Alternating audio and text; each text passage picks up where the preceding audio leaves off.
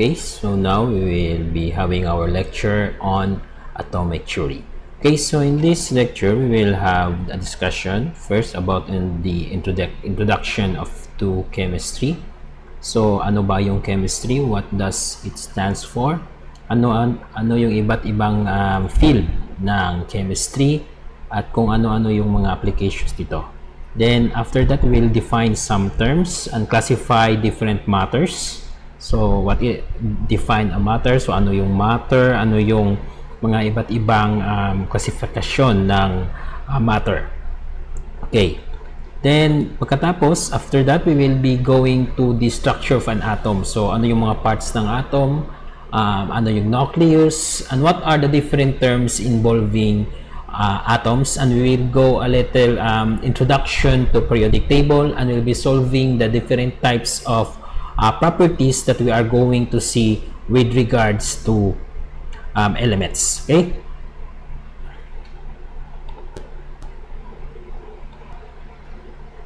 Okay, so now let's first define chemistry. So chemistry is a branch of science which deals with the study of matter and the changes it undergoes. So chemistry is a branch of science. So it is part of parte ito ng siyensya na kung saan ating uh, pinag-aaralan ang matter at kung ano-ano yung mga pagbabago na uh, na pwedeng pagdaanan ng isang uh, matter o ng isang bagay. Okay, so yun yung chemistry. So may iba't ibang branches or fields ang chemistry. So ang ang nilista ko ito yung lima na pinaka-common.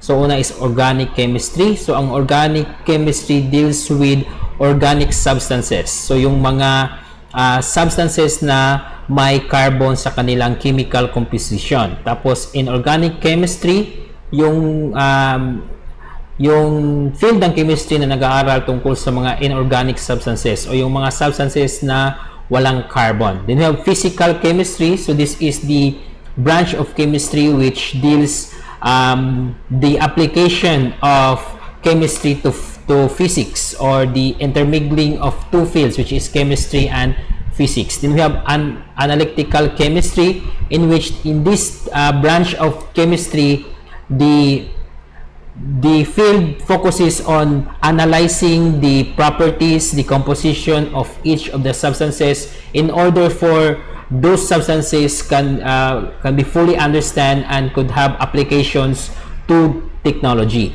Then lastly is biochemistry, which is uh, as of now, with regards to our pandemic, is one of the most useful field of chemistry. So it deals with the uh, chemistry of life. So what does it mean? So what are the chemist the chemicals that affect life?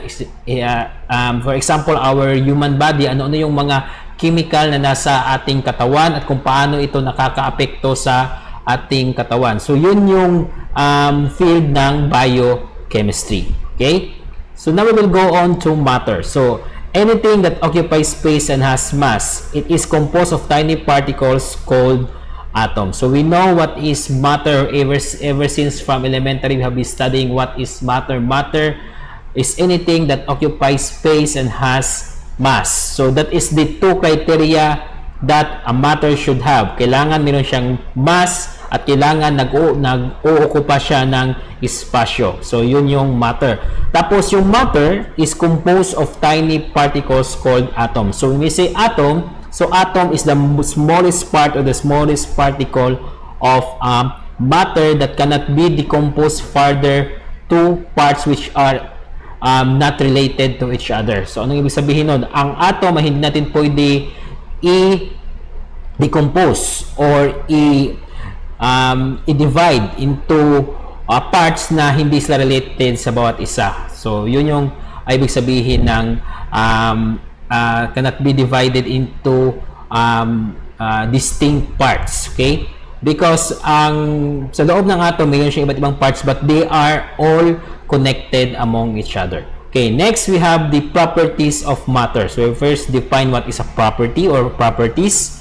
Th those are characteristics that differentiate a substance from all other substances. So meaning yun yung uh, katangian na kung saan sasabi natin itong bagay na to ay iba sa isang bagay. Kunyari, um, ano yung ano yung pag ano yung pagkakaiba ng plastic sa um, sa metal. So yung plastic is uh, medyo malambot at kapag uh, tinapat mo sa apoy ay madaling natutunaw habang yung metal is matigas. Tapos kailangan mo pa ng mas mataas na temperatura para ma ano siya ma, malusaw okay? Then we have the different types of properties. We have intrinsic properties. So properties of the substance that are independent of the shape size shape and size of a substance. So meaning, ito yung mga katangian na hindi nakadepende sa size o um, sa laki o sa itsura ng isang bagay. So ang ang isa sa example nito is density na kung saan ay ating i-discuss sa mga susunod na lesson. Next, we have intrinsic properties. So properties of the substance that are related to its size and shape. So an example of these properties is volume. Okay, so e extensive properties, uh, those are properties o kananggihan ng isang bagay na may kinalaman sa kanyang laki o kanyang itsura. Okay, or hugis. Then you have endothermic properties, so physical or chemical changes which causes energy release from the substance to the surrounding. So these are properties or chemical changes na kung saan yung bagay or yung uh, yung isang ano yung isang substance ay nagre-release ng energy sa kanyang paligid. So kunyari, yung yellow after few after few minutes or few hours matutunaw ito and it will transform into water. So meaning the there is an energy release from that um, from that ice. So Later on, we will know what type of energy. So, sa mga susunod na discussion, what type of energy is released when ice melts into water. Then we have endothermic properties of physical or chemical changes in which energy is absorbed by the substance. So when there is an absorption of energy, then it will be endothermic properties. Okay? Now we go to the classification of matter. So we have here an uh, um, chart which um, which um, ranks the the classification of matter. So we have on the top matter. So this is everything that we see that has weight, or mass and occupies space. Then we have two types of matter, which is pure substance and mixture. Then the pure substance, it is composed, it is further divided into, into two. We have compound and element. Then the element is further divided into metals and non-metals. So we will see this type of element, metals and non-metals, later on when we discuss about periodic table. We have mixture also is subdivided into two. We have homogeneous and heterogeneous um, mixture. So we will define each of these terms. So we have pure substance, a matter that has definite composition and a definite boiling point. So ibig sabihin, ito yung mga bagay na may um, may eksaktong komposisyon at may um, eksaktong boiling point. Ano yung boiling point? Ito yung um, temperatura na kung saan yung tubig ay nagbo-boil or um, lahat ng ano substance ay nagbo-boil not only um, tubig.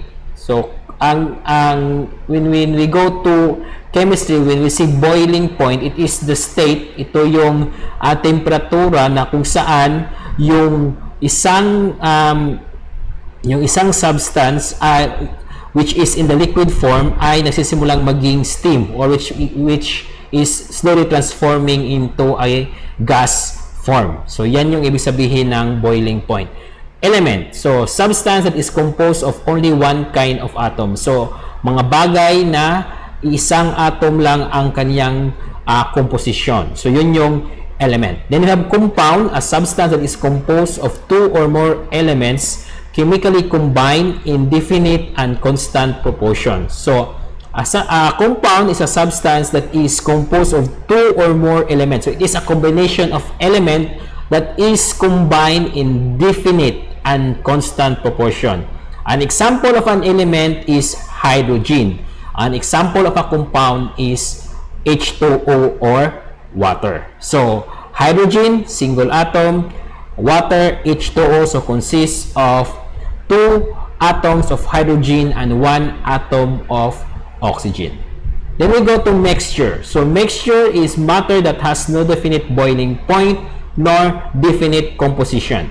It is a combination of various substances which can be separated by chemical means. Homogeneous mixture whose whose parts or composition are not distinguishable even to some extent through a microscope. So a mixture is a mixture of uh, substance or a, a mixture of matter which has no definite composition. Okay? And the first type of mixture is homogeneous mixture in which the parts are not readily distinguishable even to some extent through a microscope. An example of homogeneous mixture is the mixture of um, water and sugar. So, af after the sugar melts, you cannot distinguish even through a microscope which part of that mixture is what is part of the sugar. Okay, so that is an homogeneous mixture. And heterogeneous mixture is a mixture whose parts or composition are readily visible or easily identifiable. So meaning, madali mo makikita yung mga part ng isang heterogeneous mixture. An example of that is halo-halo. When you, when you look at halo-halo, you will know what are the ingredients of a halo-halo. So that uh, a halo-halo is an heterogeneous mixture. Then we have the laws that um, that is used by uh, the study of chemistry. So first, you have the law of conservation of mass. Mass can neither be created nor destroyed. So what does it mean? So yung mass o yung amount ng material na nasa isang bagay, so yun, yun yung definition ng mass. Mass is the amount of matter present in an object. So it cannot be created. So we, we cannot create mass nor destroy it. So the mass inside the universe as proven by experiments is constant. What happened when we say, sir, it is it is not constant kasi kapag namatay tayo, nabubulok tayo, so nawawala yung mass natin. No. When we die, we rot and what happened to our to the elements that compose our body. It goes back to the soil, goes back to the surroundings. So meaning our mass is still there, but it is um, transformed to its fundamental parts, which is in terms of its element. Okay? So that's why all of us, there is a saying in astronomy that humans are the child or children of stars. Why? Because a star consists of hydrogen, some helium, oxygen. Later on, it's in its life, it will create oxygen. So, we humans is consists of hydrogen and oxygen. So, where does the hydrogen and oxygen came came from? So, it came from the sun. All all of those, almost all of the elements in the periodic table has something to do with the sun uh, or the sun has uh, part of which uh, has some part in, on how those elements are created. So that's why because we are consistent uh, co uh, consist of elements then we are the children of the sun. Okay? So that is one of the quotes from astronomy. So humans are the children of the sun. Then we go to the law of conservation of energy. So energy can neither be created nor destroyed. It can only be transformed from one form to another. So what does it mean? Yung enerhiya ay hindi pwedeng um, uh, i-create or gawin at hindi ito pwedeng sirain or be destroyed. So What is an energy? So an energy is the ability to do work when we are when we go to physics or if you have uh, if you remember on your uh, physics in high school. So it can it is the ability to do work. So meaning if we don't have energy, we cannot move, we cannot um, create something or even our body could not function well if we don't have energy. So energy is the reason why we are moving in our body. Oh. Then, um, anything around us is also influenced by energy. The sun gives up solar energy so that the plants could um, create food via photosynthesis. Then our our gadgets are powered by electrical energy which is uh, generated through the transformation of um, some uh, some other forms of energy like mechanical chemical energy so everything around us is influenced by energy so energy cannot be created nor it cannot nor it can be destroyed so it it is constant also like mass so therefore uh, if if you if you are well versed enough in physics and in chemistry uh, you have known the equation E equals mc squared. Okay, we will maybe I just write here. Okay. Okay, we have E equals mc squared. So this formula is uh, derived by Albert Einstein in which it states that energy is equal to mass times the square of the speed of light. So E as E is for energy, M is for mass, and C is for the speed of light which is 3 times 10 to the power of 8 meters per second squared. So what this formula stands for is that we can see that there is a relationship between energy and mass. So if we have a mass and we subjected it to the square of the speed of light, light then the, then that mass can be transformed into energy.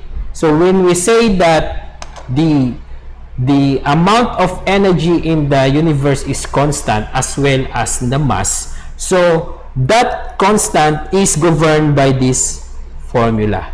Okay, so the uh, so the energy in our universe is related to mass. Okay, so maybe when we will go to your physics, we could have this one, the E equals mc squared, which is all about the theory of relativity. But we just um, stop on this uh, on this introduction of that for on that formula because we are just only talking about the law of conservation of energy. Then another statement for this law is that it can only be transformed from one form to another, meaning energy can only be transformed from one form to another. So for example, chemical energy is transformed into electrical energy. So, the example of that one is the battery. So, the dry cell or the wet cell. So, there is a there, there is a transformation of chemical energy inside the plate, the cathode and the anode of your battery through to a electrical energy which um, which light up your cell phone, your flashlight, and whatsoever uh, gadgets that uses battery. Then you have also the law of definite composition. So a pure substance, uh, a pure compound, sorry for that, is always made up of same constituent elements combined in a definite proportion by weight. So what's, what does it mean? So a pure compound, so when we say compound is a combination of element, is always made up of the same constituents of element combined in a definite proportion by weight. So what does it mean when, when we say H2O, okay, H2O, it is um, made up of two atoms of hydrogen and an atom of oxygen. So meaning this composition is constant to any form of water, the molecule of H of water is H2O because that is a pure compound. Okay, then we have the law of multiple proportion. When two elements react to form one to form more than once more than one compound, this is not once but one. The different weights of that of that combined with a fixed weight of, of the other are in the ratio of small numbers. So meaning, even if the if the compounds or the elements are mixed to one another to form another compound, then their weight is still a ratio of the whole of or of the total weight. So going back to our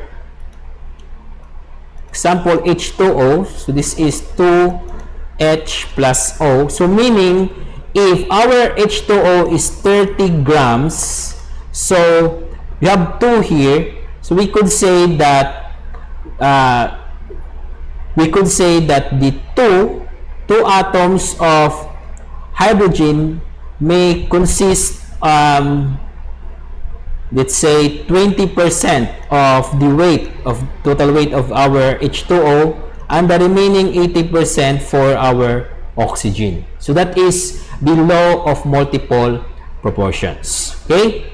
Then we go now directly to the structure of atoms. Okay.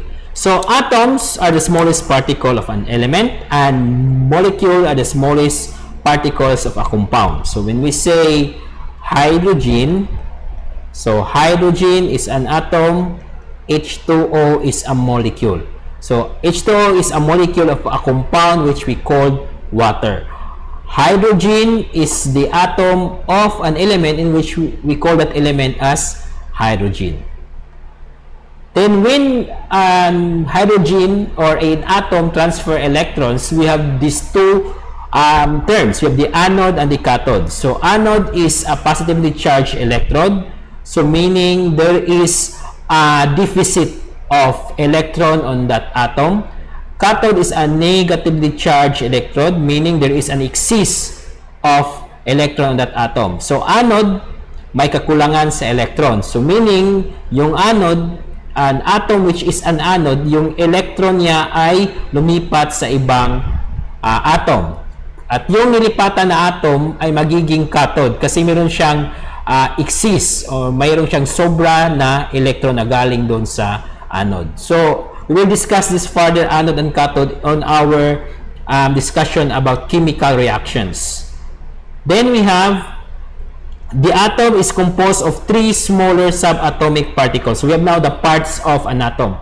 First, we have electron. So it is the particle with a negative charge or with a rel relative charge of negative 1 and a very small mass of 0.0055 atomic mass unit. Okay? So, atomic mass unit is in terms of uh, the mass of proton. Okay? But we will just skip that one. So, we have, or you could review the physical constant which we have discussed on our previous lecture about uh, unit conversion. Okay, so the electric charge of an electron is negative 1.602 times 10 to the power of negative 19. C is coulomb. Then the unit mass in kilogram is 9.11 times 10 to the power of negative 31 kilograms. Okay, so these numbers are expressed in scientific notation. So if you have your scientific you, scientific calculator, so you could easily input this number. Then you have proton. So it's a particle with a relative mass of positive 1 and a very small mass of 1.0073 AMU. So the electric charge of an electron uh, of a proton is the same with the um, electric charge of electron except that it is positive. Then the unit mass of um, proton is 1.673 times 10 to the power of negative 27 kilogram. Then the neutron is a neutral or uncharged particle with a mass of 1.0087 atomic mass unit.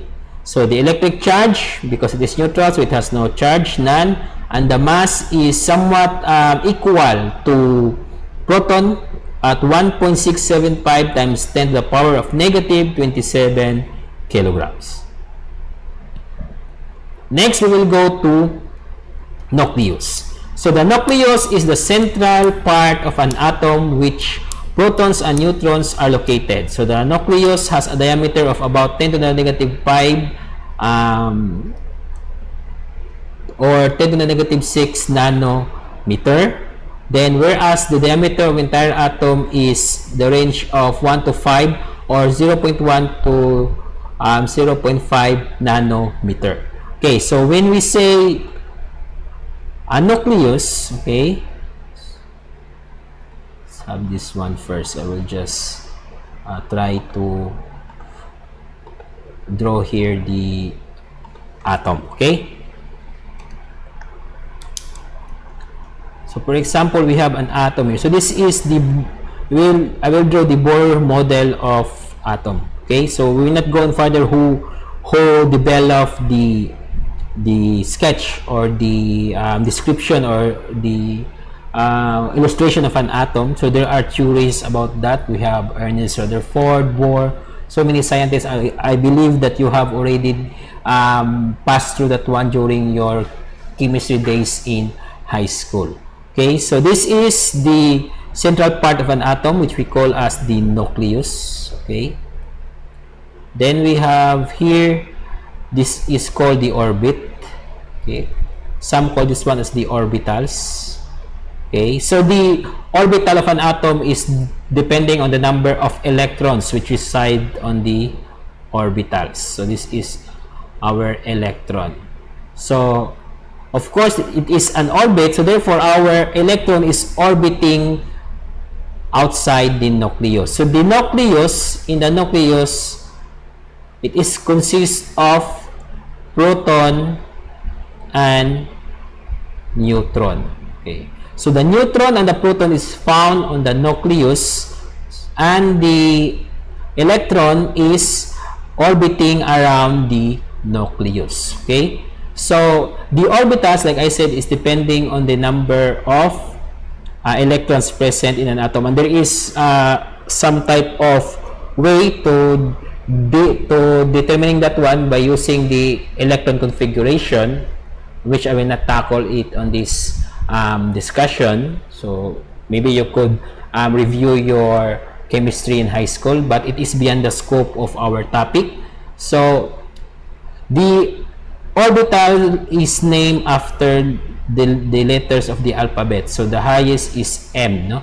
So I'm not uh, I'm not uh, particular on the the whole of this uh, of the or orbitals because it's beyond the topic of our uh, it is beyond our topic. But the orbitals like I said is depending on the number of electrons present in the atom.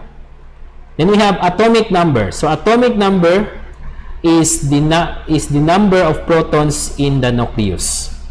So when we say the atomic number so the atomic number is the number of protons in the nucleus and the number of protons in the nucleus for a stable or a base atom is equal also to the electrons. So for example, if you have an atom or an or a element which has a proton of 3, so this is your uh, proton, therefore your electron also is 3.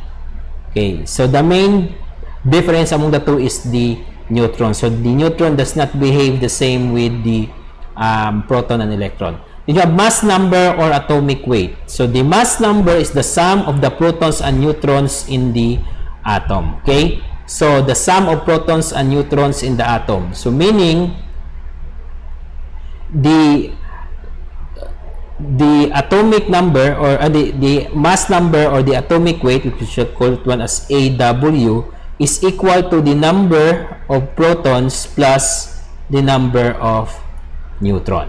Then we have formula and molecular weight. So formula weight is used for compounds that are made up of ions and have primarily ionic bonding. So when we say getting the formula weight of a certain uh, compound, so that compound must be uh, bonded or that compound must be uh, bonded through ionic bonding. Then you have molecular weight is used for compounds that are composed of molecules and have primarily covalent bonding or when we say covalent bonding that is the sharing of electrons. So we have the note, so formula weight is convenient as it can be used for both ionic and covalent bonding.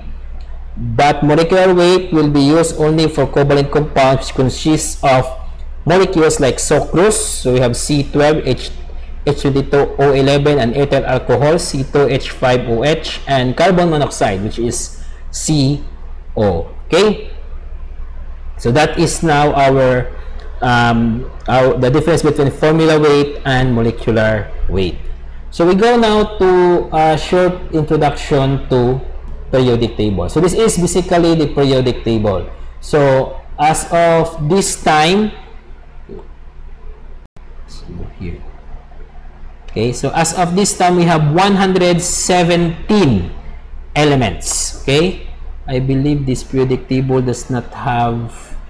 Okay, let's just find here. So it is somewhat cut off okay so maybe we should find another periodic table that has the complete one okay? So let's just fine okay this one let's just see if this is complete. So there are a lot of uh, periodic tables on the internet okay? And usually they are updated. So all you need to do is to find which of those is updated when we say updated so it is um, it, uh, it pertains to the it pertains to the number of elements that are currently inside the periodic table okay but basically in the study of chemistry um, we are only concerned with the um, what we say as the first generation elements. So the elements that are first discovered in our uh, study of chemistry. Okay, so we're just loading here the periodic table. I believe we could not find a periodic table that is much clearer.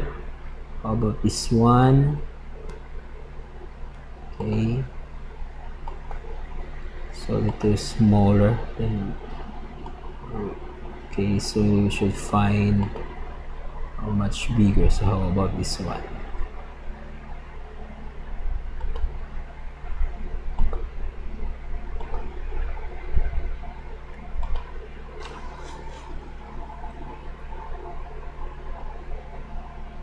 so maybe we should replace this one with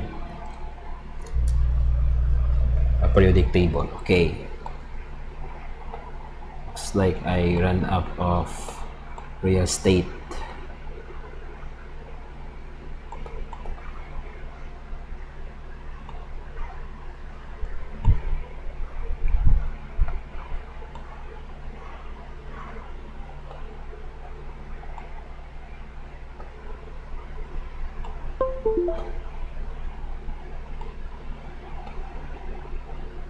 Okay, so we have here a periodic table So the first um, the first element of the periodic table is hydrogen. So it is uh, read from this part. So from left to right. So we have hydrogen. So the order in which it is read is hydrogen, hydrogen, helium, lithium, beryllium, boron, carbon, nitrogen, oxygen, fluorine, neon, uh, sodium, magnesium, aluminum, silicon, phosphorus, sulfur, chlorine, argon, potassium, calcium, scandium, titanium, vanadium, chromium, manganese, iron, cobalt, nickel, copper, zinc, uh, gallium, germanium, arsenic. Uh, this is uh, Then we have also uh, bromine and krypton so on and so forth. So if you want to have the exact name of this one then you could add I will send a picture of this one to our Facebook group and you could see this periodic table of elements. So how to read the periodic table of elements in each of the boxes? So we have on the upper uh, left corner it is written the atomic number then we have the symbol, then we have the name of the element, and we have the atomic atomic mass or um, or the mass number. And we have also the different types of the element depending on their um, color. So for this one, we have the alkali metals. So these are the alkali metals for this color. Then we have the alkali earth. Okay, so if you have this one, alkali earth then we have the transition metals so these are the transition metals here all of these are the transition metals then have the basic metals so we have the aluminum gallium uh, iridium, tin, uh, this is uh, this is thallium, then lead, then bismuth. Then we have these two new elements. So as of now, it's 118 elements. Then we have also the semi-metal. Okay, this one. So these are usually used in semi semiconductor uh, semiconductor production, especially on the making of diodes and transistors. Then we have non-metals. So this one are non-metals. Halogens. So usually used in halogen bulbs. We have the noble gases. So these types of of elements are not reactive to any other element because they are currently uh, they are considered as the stable elements. Then you have the lanthanide and the actinides. Okay, so of course each of these will be discussed further when we go deeper to the uh, types of elements in the periodic table. Okay, so basically this is how our um, our periodic table looks like. So as uh, as I said that the uh, the number of elements in the periodic table is constantly updated. So if we have here the 118, who knows that uh, as of now there is someone on a certain uh, chemical laboratory discovered a new or created a new element. So like so because almost uh, some of these elements are naturally occurring. What does it mean? So it can be found in nature. So hydrogen, it is the, the, the basic composition or the primary composition of the sun. And also helium. Then we have lithium, beryllium, oxygen, nitrogen. So those are natural elements. But we have also the so-called man-made elements or the elements that are created on laboratories. So as some of those are here these the these new types of element okay? So so the the periodic table of element is one of our instrument for us to know how to characterize each of the elements which are present in our universe okay? So now we will go to solving the molecular or the formula weight of some compound. So we have find the formula weight of water. So for this one, we need to have our periodic table. So we will solve this one. Okay? So we have solution. So find the formula weight of water. So first we will write the formula for water. The formula for water is H2O. So what does it mean? So H2O, we have two atoms for hydrogen and one atom for oxygen. Okay, so the H2 here is that the 2 is for hydrogen. When there is no subscript, so meaning that is 1. Okay, then we will now see what is the atomic mass or the mass number for hydrogen. So if we go to our um, periodic table, so if you cannot see this one we'll just zoom. Okay. Try to zoom that one. Okay that is 1.08 or just round that one into 1 okay. Let me just first resize the screen. So this is 1 so what will happen now we have 2 times 1 so this is 1 atomic mass unit because the atomic number or the mass number is in terms of atomic mass unit. Then we have for oxygen, okay, oxygen, so maybe we should zoom again. Okay, so for oxygen, so if you can see, oxygen is 15.999, okay, I hope it's clear on the screen. Okay, so 15.999. So we just resize again our screen here. This is 74. Okay. So this is 16. So we have 1 times 16 AMU.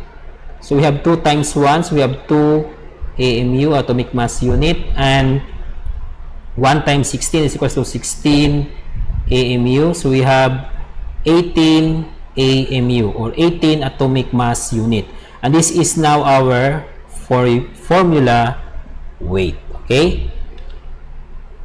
Next example. So find the formula weight of sucrose. So sucrose is equivalent bond or a co compound uh, which is uh, made through co covalent bonding. So we could say also that we need to find the molecular weights. Maybe just change this one into molecular weight.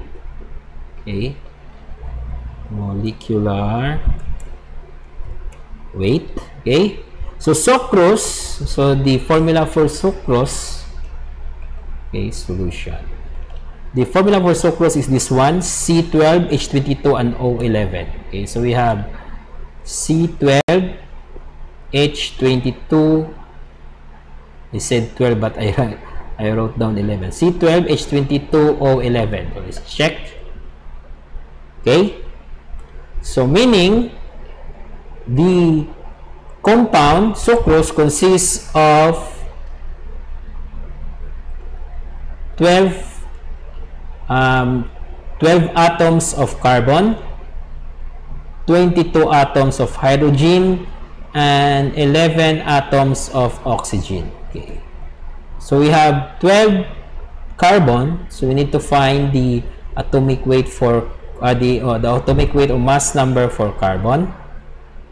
Okay, so let's just zoom that one here. Okay, maybe.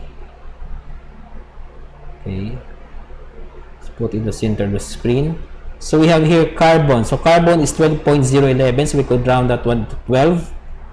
Okay let's just bring the screen again. So that is 12 okay so this is 12 uh, no uh, 12 times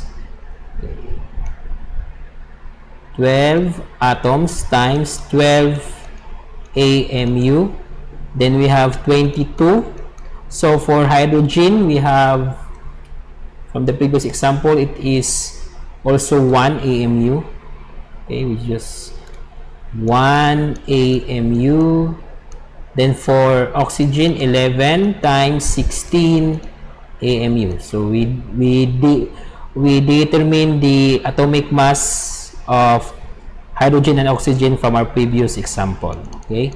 So we have 12 times 12, that is 144. Then we have 22 times 1, that is 22.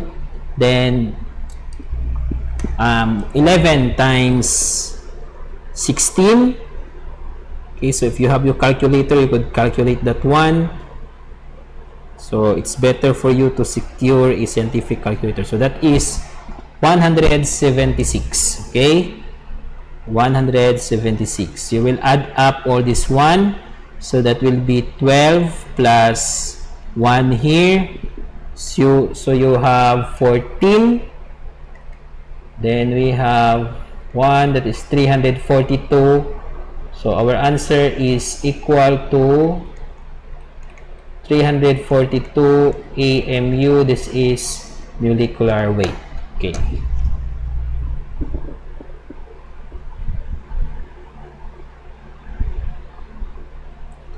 Okay so we have now our answer for example number 2 okay So I believe that will be all for this discussion or this lecture about atomic theories. We have discussed what is chemistry, the branches of chemistry, the definition of properties, that the, the different properties um, on an substance, then the, the classification of matter, okay, then the definition of each classification, the laws of chemistry, conservation of mass, observation of energy, definite composition, uh, multiple proportion. Then we have the structure of atom, the different types of charge or electrode, the composition of an atom, the nucleus, the uh, illustration of an atom. Then we have the atomic number and uh, atomic mass or atomic weight. Then we have formula weight and, and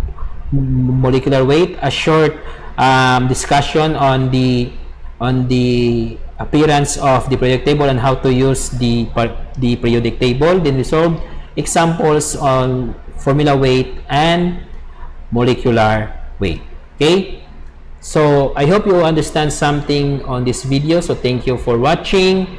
And as always, enjoy learning.